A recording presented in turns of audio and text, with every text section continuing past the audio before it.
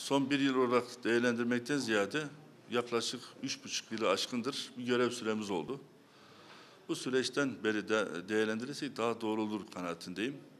Çünkü o günlerde taahhüt ettiğimiz projeler, onların altyapılarının oluşturulması, onların işlerine başlanması, bir kısmının bitirilmesi derken belli bir aşamaya getirmiş durumdayız. Bu hususta görev başladığımızdan beri mevcut durumu gözden geçirip e, ne yapacaklarımızla ilgili eylem planı oluşturup bundan sonraki süreçle ilgili e, çalışmalarımızı hızlı bir şekilde devam ettirdik. Şimdi belediyenin asli yapması gereken çalışmalar var. Nedir? Yol belediyenin asli görevidir. Kaldırımlar, e, altyapı hizmetleri bunlar belediyenin asli görevidir.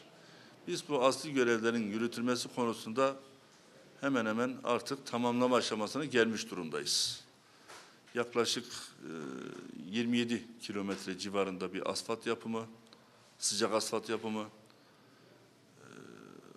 38 kilometre civarında sati kaplama asfalt yapımı, e, yaklaşık da 285 bin metrekare civarında kilitli parke yol yapımı şeklinde bir yol çalışması yapıldı. Bunun dışında da 170 bin metrekare civarında kaldırım çalışması yapıldı. Bu çalışmalarla beraber gerek Telekom'dan, gerek Akıdaş'tan, gerekse de özellikle doğalgazdan kaynaklanan e, tahribatlara yönelik tamirat ve tadilat çalışmaları yapıldı. Bu da bizim ciddi anlamda e, maddi bir bize yük getirmesi ve e, vatandaşta mağduriyet oluşturması bakımından bunların da bir an önce bitirilmesiyle ilgili yoğun bir çalışma içerisindeyiz. Şu anda şehrimizin en ücra noktasına kadar, en varoş bölgesine kadar, üç ev, beş ev demeden vatandaşın doğalgaz isteğini harfiyen yerine getirmiş durumdayız yapı yasaklı alanlarda doğalgaz verilmez denirken biz vermiş olduğumuz taahhüt, taahhütname ile oralara da doğalgazın verilmesini sağlamış durumdayız. Bunlar vatandaşımızın talebi doğrultusunda bizim hassasiyetimize yönelik yapmış olduğumuz çalışmalar. Bu tamir ve tadilatları da genel olarak hesaba kattığımızda ortalama e, bu tamiratların bir kısmı asfalt olarak bir kısmı da kilitli parke olarak yapıldı. Bundan dolayı da 150 bin metrekare civarında tamir ve tadilatla ilgili yapmış olduğumuz çalışmalar var. Şimdi hükümetle, devletle beraber yaptığımız çalışmalar var. Bu çalışmaların bir kısmı belediyemiz, bir kısmı da ilgili kuruluşlarla birlikte yapılan çalışma.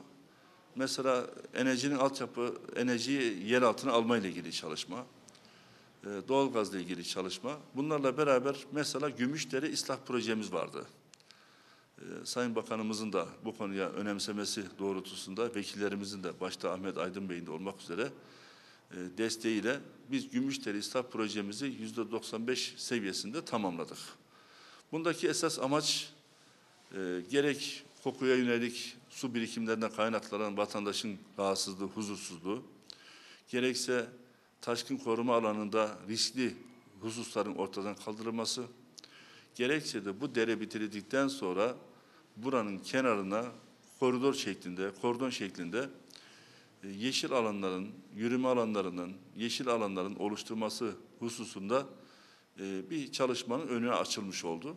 Şu anda Park Bahçeleri Müdürlüğümüz tarafından bu biten Gümüşdere Islah projemize esas olmak üzere e, çevre düzenleme çalışmasını başlatmış durumdayız. Bu şehrimizin ana merkezinde vatandaşın mezberelikle ifade ettiği, huzursuz olduğu bir alanı insanların huzur bulduğu, mutlu olduğu bir sahaya dönüştürmekle ilgili bir çalışmanın e, önemli başlamasına gelmiş durumdayız.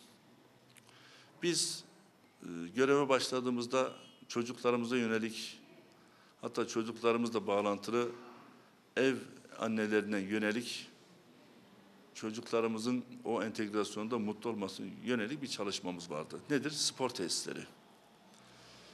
Bir vilayette bile bu kadar spor tesisinin olmadığı bir besli bir şehir oldu. 16 tane semt sahası şeklinde okullarımıza ve okullarımızda da alanlar müsaitse yakın bölgelerine, nüfusların olduğu bölgelere, bütün mahallelerimize spor sahaları yaptık. Halı saha ve basket sahası şeklinde aydınlatmasıyla beraber yaklaşık 1 milyon 950 bin TL civarında bir maliyatla şu anda e, yer tes, e, geçici kabulü yapıldı. Tesisler şu anda faaliyette. Artık çocuklarımız cadde ve sokaklarda top oynamadan kurtulacak. Geceli gündüzlü bu spor sahalarımızdan istifade ederek spor şehri Besni olma noktasında önemli bir aşamaya gelmiş durumdayız. Bu proje tamamlandı. Çocuklarımızla başta olmak üzere Besni'mize hayırlı olsun. Yeşil alanlarla ilgili çalışmamız var. Parklarla ilgili çalışmalarımız var. Göreve başladığımız süre içerisinde 3 adet parkımızı bitirdik. 3 adet parkımızı da bu sene bitirmek suretiyle nasip olursa Haziran ayında bu yapmış olduğumuz parkların açılışlarını yapacağız. Bu yeşil alanların, e, parkların dışında ayrıyeten Yeşil Besni projesi kapsamında Merinos ailesinin de öncülüğünü yaptığı e, yeşil bir şehir olma konusunda 3 yılı aşkındır süredir yaklaşık 165 bin civarında bir ağaç dikimi sağlandı. Bu ağaç dikimi şu andaki mevsim itibariyle de hızlı bir şekilde devam etmekte. Bizim hedefimiz 5 yıllık görev süremiz içerisinde 300 bin civarında ağacı Besni'ye dikimini sağlayarak yeşil bir şehir olma konusunda önemli bir aşamaya gelmiş durumdayız. Bunun da çalışmalarını hızla devam etmek et- e, devam etmekteyiz.